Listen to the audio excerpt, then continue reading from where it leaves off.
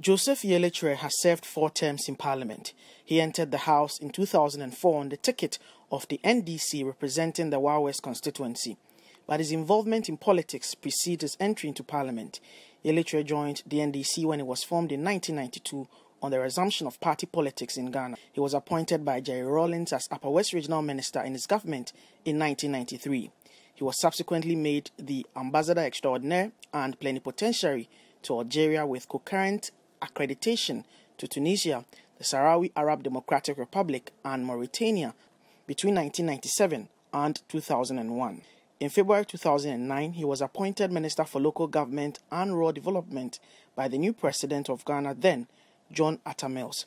On January 4, 2011, he was appointed Minister of Health by the President, John Evans Atta Mills, in a cabinet reshuffle. He was involved in the famous or infamous dismissal of Professor Kwabena Frimpong Boateng from Korle Teaching Hospital. Joseph Yileh Chireh combines his knowledge in pharmacy, law, and diplomacy to provide insight into issues in that sector. He is the immediate past ranking member on the Health Committee of the House. In March 2020, he proposed the implementation of a partial lockdown in the early days of the coronavirus pandemic. It's getting too late.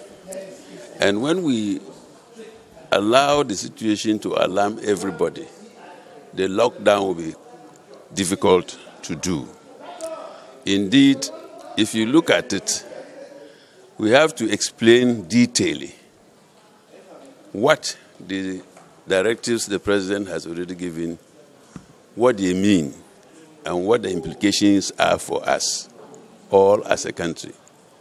But a lockdown can only be in respect of the big cities, Accra and Kumasi.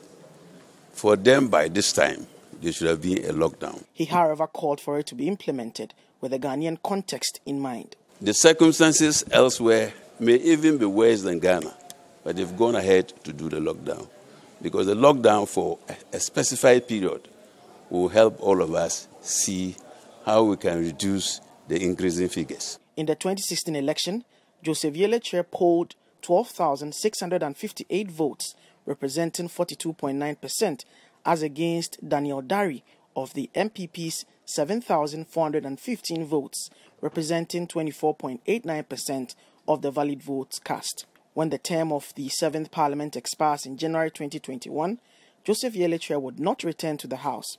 He lost the NDC primaries in August 2019 to former Executive Secretary to the IGP, Superintendent Peter Lanchene Toobu.